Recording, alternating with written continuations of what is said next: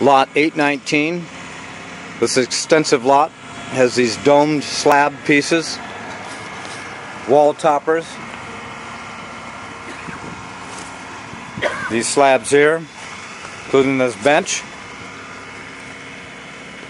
these pieces, these rectangular slabs, not this chunk though, but these 819, these column pieces, 819, the irregularly shaped pieces. 819.